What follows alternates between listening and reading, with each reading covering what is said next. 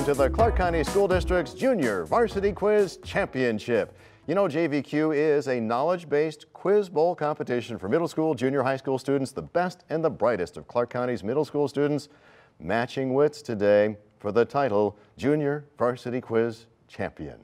Now, there were 34 middle school and junior high school teams that competed in a one-day tournament where these two teams competed in a separate in four separate JVQ matches, earning their place in this championship. So the winner of tonight's match, they will be the 2016-17 Junior Varsity Quiz Champion. Now a reminder to the students, when you're answering a question, the microphones will hear you for the recording, but we want you to speak loudly and clearly so the judges on the other side of the studio can hear you.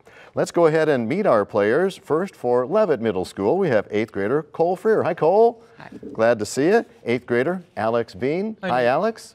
Here is eighth grader Maxwell Workman. Hello. Hey, Maxwell. And eighth grader Chloe Day. Hi, Chloe. Hi. So that's the team from Leavitt Middle School. Let's go ahead and meet our players now from Del Webb Middle School, starting with eighth grader Xavier Paul. Hi, Xavier. Hi. Eighth grader Will Dewey. Hello. Hi, Will. Uh, eighth grader Josh Hettinger. Hey, Josh. And eighth grader Caleb Fears. That's the team from Del Webb. Now we're going to get to know more about these young men and women after we get right into Junior Varsity Quiz with this question. Popocatépetl and Volcan de Colima are both volcanoes located in what country? And that is going to be Del Webb uh, Xavier. Mexico? That is correct. Next question. The parathyroid gland secretes hormones necessary for the metabolism of phosphorus and what other mineral necessary for proper bone development? And that is Del Webb, Josh. Calcium? Yes. Next question is a math question. How many Olympics were held from 776 BC through 760 BC? Repeating, how many Olympics? And that'll be uh, Del Webb, Josh. Five? That is correct. Next question. The two most prominent colonists expelled by Puritan leaders from the Massachusetts Bay Colony were Anne Hutchinson and who else? Uh, Webb, Josh. William Penn? That's incorrect. Uh, time, we were looking for Roger Williams. Next question. What condition, often synonymous with chaos or disorder, is marked by the absence of governing forces? And that'll be uh, Leavitt. Maxwell? Anarchy. Yes.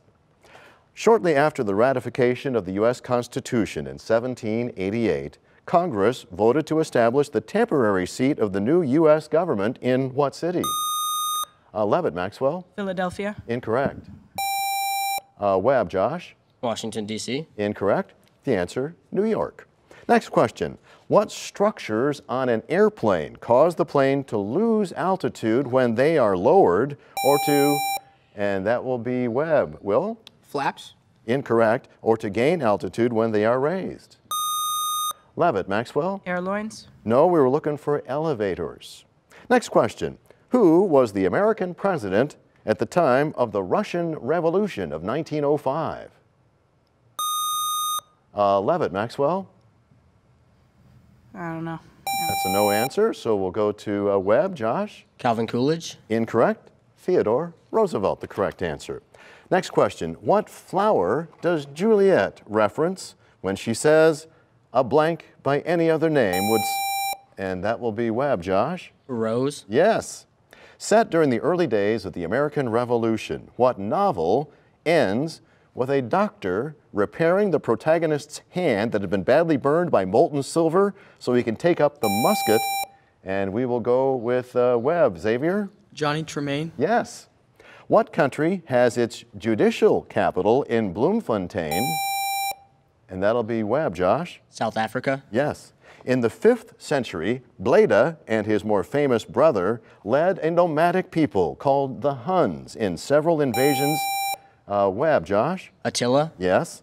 In 2016, the Egypt Air passenger jet that went down in the Mediterranean had taken off from Paris and was headed to what? North African capital city. And that is uh, Leavitt. And Cole? Cairo. Yes. Vulcanization increases the strength and flexibility of what? Uh, Webb, Josh? Rubber. Yes. What branch of American government includes the U.S. Court of Appeals? Uh, Webb, Josh? The judicial branch. Yes. What characteristic of a substance is directly related to the motion of the molecules within it?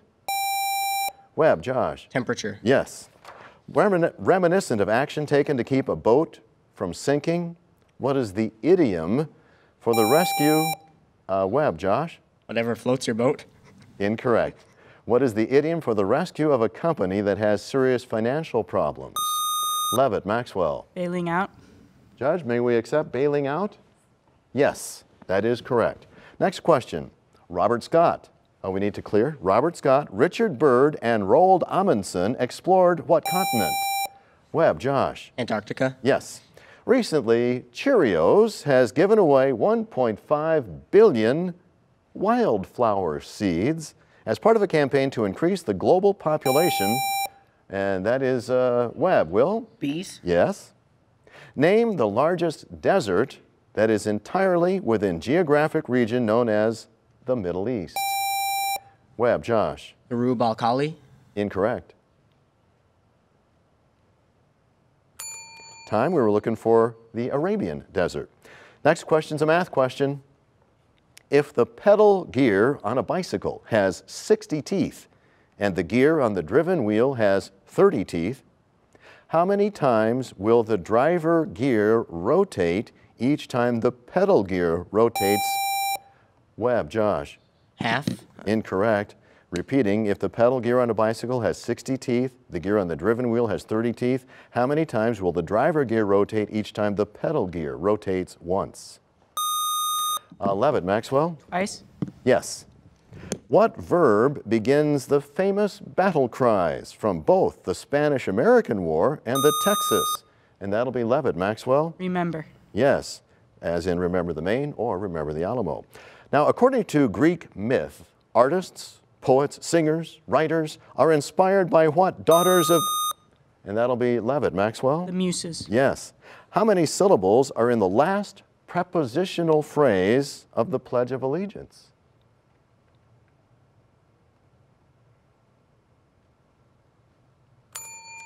Two. Next question. Longitude measures longitude measures vary from 0 degrees to how many degrees? And that'll be uh, Webb. Josh? 180. Yes. Now that's the end of round one. We're going to find out a little bit more about our players now, and we'll start with Leavitt and eighth grader Cole Freer. Hey Cole, you having some fun? Yeah. I wanted to ask you about uh, something it says you would like to see on your little biography card. Do you remember what you wrote? No. It says you want to see a, a Broadway musical. Oh yeah. Which one? Hamilton. Yeah, supposedly it's coming to the Smith Center, so will that work for you? Yeah. Excellent. Well, good luck. Hope you go see it, and good luck with the JVQ here. Eighth grader Alex Bean. Hey, Alex. Hi, Nate. Um, on your biography card, it says that you actually like a subject in school that most students don't. Math. See? Good luck with that. and good luck here on JVQ. Eighth grader Maxwell Workman. Hey, Maxwell. Hello. Now, how many siblings do you have, Maxwell? Seven. And what's the mix of boys to girls? Uh, six boys, including me, two girls. And where do you fall in I'm the, the order? oldest. You're the oldest? Excellent. Well, good luck with the rest of your family and good luck here on Junior Varsity Quiz. Here's Chloe Day, an eighth grader from Leavitt. Hey, Chloe. Hi. Now, I know something about you that maybe the rest of the folks here don't about why you have been in this studio before. I was a finalist for the spelling bee. Remember what grade that was? Uh, yeah, it was this year. Yeah. So, did you go to the uh, state bee? no, I didn't. I got through a few rounds, but then Okay. I dropped out. Well, uh, good luck here on JVQ, and it's great to see you again, Chloe. So that's our team from Leavitt Middle School. Let's meet our players now from Del Webb, starting with uh, Xavier Paul. Hey, Xavier. Hi. I want to know what high school you're going to be going to. OVA, And do you know what you're going to be doing when you go there? um, probably video production. Excellent. Well, congratulations on getting into the LVA. That's awesome. and good luck with the rest of uh, Junior Varsity Quiz. Eighth grader Will Dewey. Hey, Will. Hello. You belong to a couple of clubs at school. Yes. Which ones? I belong to archery and JVQ. Okay. We just got second place in the archery. Excellent. Well, congratulations. And good luck here on uh, Junior Varsity Quiz. Here is eighth grader Josh Hettinger. Hey, Josh. Now, you have a, a weird hobby. We actually have a few of them here. Can you tell me one of them that you remember listing? Um, woodworking was one of them. okay. You also wrote down eating chicken. Oh, you know what? That's more of a lifestyle than just a hobby. Oh, okay. Well, good luck with the woodworking and the eating chicken. Thank you, Josh. Here's eighth grader Caleb Fears. Hey, Caleb. Hello. I understand that you are close to achieving a goal that you've been working on for quite a while. Oh yeah, Eagle Scout. That's awesome. So do you have to, are you in the middle of your final project? Uh, yeah, I'm about to turn in my uh, review thing, so. Excellent. Well, good luck with that. And good luck here on Junior Varsity Quiz. That is the team from Del Webb. Now, round two, that's going to begin after a quick review of the Junior Varsity Quiz rules. Our varsity quiz match consists of three rounds. Each question is worth five points. The first round has 25 toss-up questions. The second round, that's the bonus round, and it is timed. The team correctly answering the toss-up question will have the opportunity to then answer a two-part bonus question worth 10 points. The final round, that's the lightning round. It is also timed. After the first round, here's the score. Leavitt has 30 points to Webb's 65. A lot can happen here in our bonus round. Before we get there, we want to introduce some new players. For Leavitt, there's eighth grader Andres Romero. Hey, Andres. Hey. Good luck on JVQ. And two new players for Del Webb. Uh, we have Chris Luna. Hey, Chris. Hi. An eighth grader, and also eighth grader Devin Arata. Hey, Devin. So those are our new players. It is time for our bonus round starting now. In The Indian in the Cupboard, what does the protagonist inherit from his great grandmother that magically gives life to inanimate objects? Leavitt Maxwell. Wooden cupboard. Incorrect. Uh, Webb, Devin? Magic wand. A magic wand is incorrect, and next time speak up a little bit louder so the judges can hear you. The answer was a key. Next question for both teams. Although the British Parliament was mainly responsible for provoking the American Revolution because he was the ruler of the empire, and that is Webb, Josh. George III. Yes, bonus questions now for Webb only. Answer the following associated with the sons of uh, with the U.S. history. Answer the following associated with U.S. history. First, Samuel Adams and Paul Revere headed the Sons of Liberty in which American colony? Second, the first significant English effort to establish a colony in North America ended in the mysterious failure on what island? All right, so the first one is Massachusetts. All right, so our answers are Massachusetts and Roanoke. Both are correct. You've got bonus points. Now, a question for both teams, and it is a math question. A room measures 12 feet by 20 feet. You have 40 tiles, each measuring 12 inches on a side. What fraction of the room's floor can be covered with the tiles? Repeating, a room measures 12 feet by 20 feet. You have 40 tiles, each measuring 12 inches on a side. Leavitt, Maxwell. One sixth. Yes, bonus questions now for Leavitt only. Answer the following math questions. First, multiply 3y plus 8 by 3y minus 8. And second, what's the square root of negative 6 squared? Repeating, answer the following math questions. First, multiply 3y plus 8 by 3y minus 8. Second, what's the square root of negative 6 squared?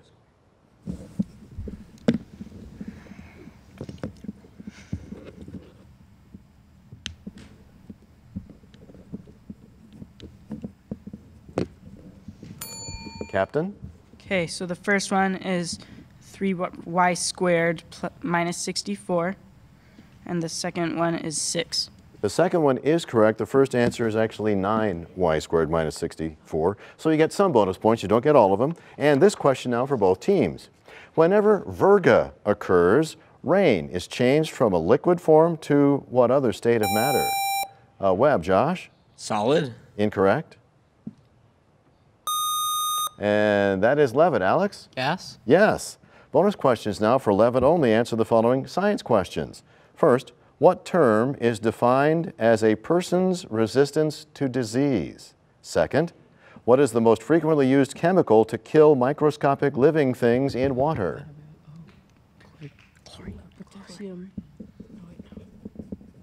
Okay, we have our answers. Go ahead. The first one is an immunity, and the second one is chlorine. Both are correct. You've got bonus points. Now, th- this question for both teams. In the novel Holes, Sam was the black farmer in Green Lake, Texas, who cultivated what vegetables? And that is Webb. Josh? Onions. Yes, bonus questions now for Webb only. Answer the following associated with books. First, in The Secret Garden, Mary Lennox lived in what country before a cholera epidemic killed her parents and she moved to England? Second, immortality is the central concept explored in what novel by Natalie Babbitt? Ooh, uh, Tuck Everlasting. First one, can I just say France? Yeah. All right, so our answers are France and Tuck Everlasting. Tuck Everlasting is correct. The country is actually India. So you get some bonus points. And this question now for both teams. What is the collective name for those who invaded England in 1066 from a region in France? And that is Leavitt. Maxwell? The Normans. Yes, bonus questions now for Leavitt only. Answer the following associated with world history. First, in what country was the printing press invented? Second, as legend has it, the history of what great European city can be traced back to a couple of boys and a carnivorous quadruped? Okay, we have our answers. Go ahead. Number one is Germany. Number two is Rome. Both are correct. You got bonus points. Now, this question for both teams. George Washington appointed Alexander Hamilton to what cabinet position? And that is Leavitt Cole. Secretary of the Treasury. That is correct. And bonus questions now for Leavitt only. Answer the following associated with U.S. presidents. First, what president's name is part of the title of the National Expansion Memorial in St. Louis, Missouri? Second, in 1955, what American president deployed the first U.S. military personnel to South Vietnam?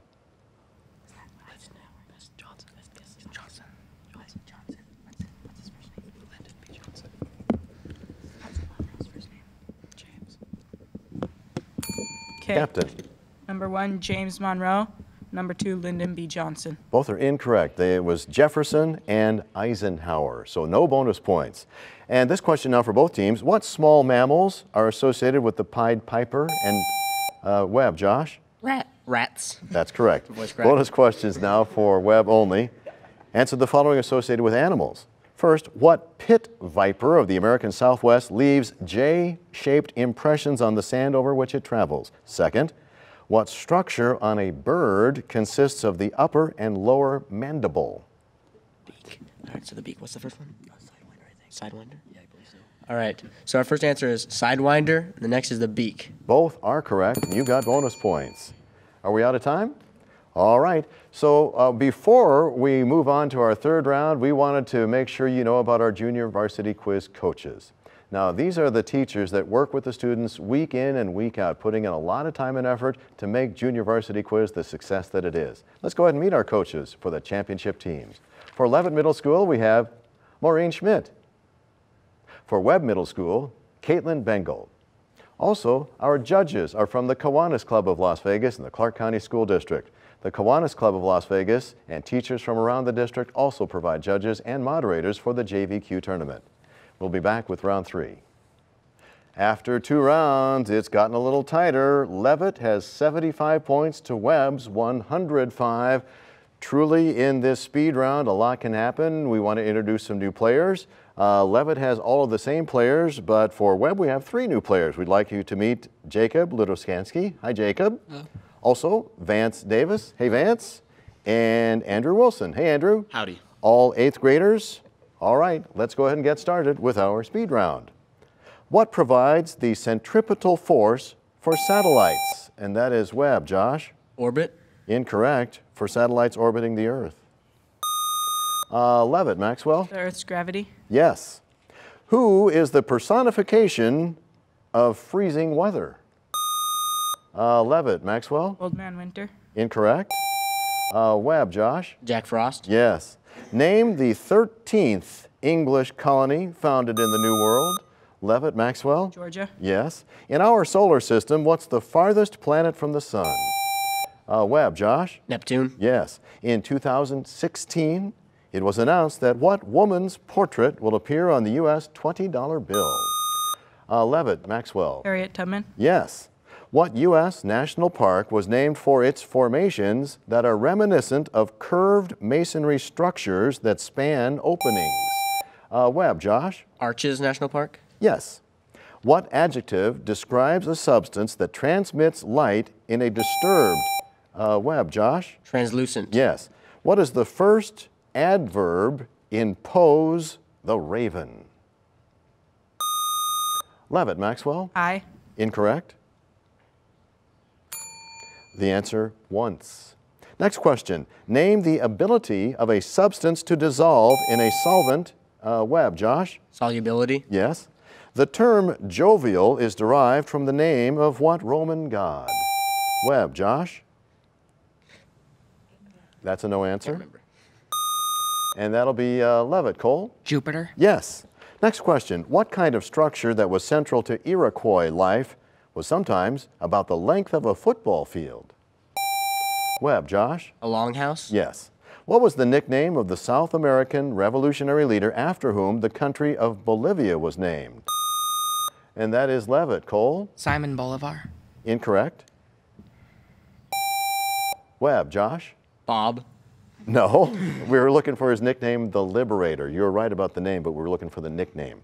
So we move on to this question. If you found yourself in Japan riding in a small wheeled vehicle that's being pulled along by one person, uh, Webb, Josh? A rickshaw. Yes. What one gas comprises over three quarters of Earth's Webb, Josh? Nitrogen. Yes. Located high in the Himalayas, what landlocked country is the home? Uh, Leavitt, Maxwell? Nepal. Yes. What was the background color of the flag of the Soviet Union? Leavitt, Maxwell. Red. Yes. In the Harry Potter series, what village founded by the medieval wizard Hengist of Woodcroft is situated northwest of Hogwarts School of Witchcraft? And that'll be Leavitt. Alex? Hogsmeade? Yes. The medulla oblongata is a major region of what organ? Webb, Josh. The brain. Yes. What seaway connecting the Great Lakes and the Atlantic Ocean, uh, Webb, Josh? The Erie Canal. Incorrect, was completed in 1959. Did he get in in time? And so we'll go with Leavitt. Alex? The St. Lawrence River? Judge?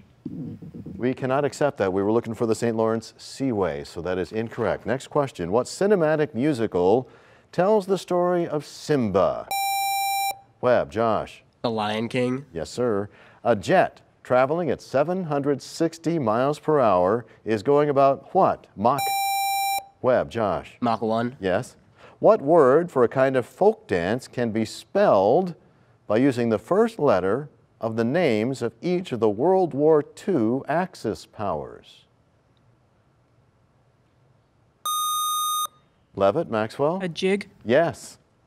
Any two colors that are directly opposite of each other on the color wheel.